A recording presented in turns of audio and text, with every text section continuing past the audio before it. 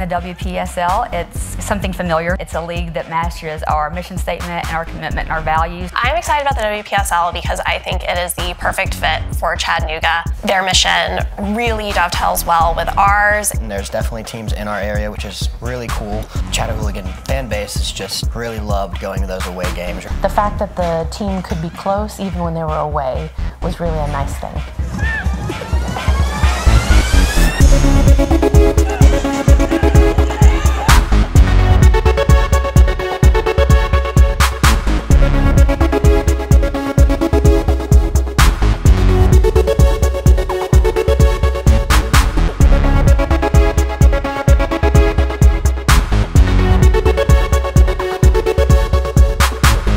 Thank you.